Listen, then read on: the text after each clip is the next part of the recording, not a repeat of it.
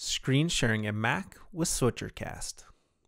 SwitcherCast is our computer app that allows you to share your computer screen into your Switcher Studio productions.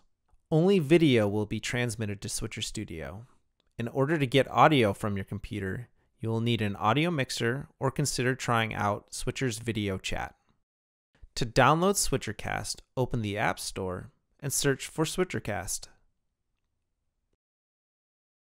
Before you use SwitcherCast, connect the computer to the same Wi Fi network as the iOS device running Switcher Studio.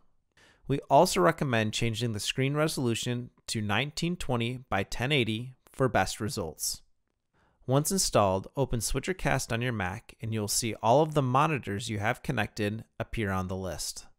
Even webcams can be connected to Switcher Studio.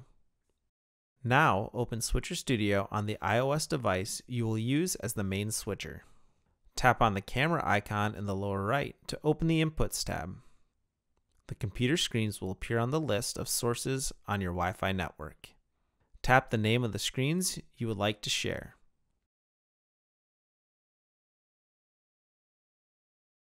If it is your first time or you are having trouble running SwitcherCast on your Mac, open the General Settings, click Security and Privacy, open the Privacy tab, and scroll down and enable SwitcherCast for screen recording.